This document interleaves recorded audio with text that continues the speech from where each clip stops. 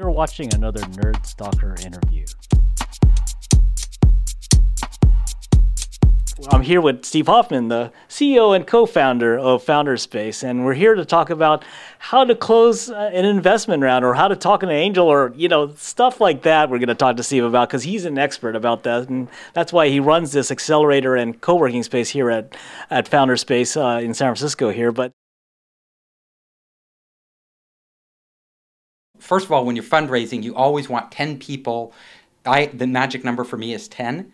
10 investors in the queue meaning you want you want to be talking to 10 who haven't said no yet. What you want to do is you want 10 investors always in the queue. Then you want to knock them off the queue as fast as you can because honestly, if you an investor will say no today, if you can get them to say no now, they will it, it would be the same as keeping them in your queue, taking up that vital slot and all the time you give them.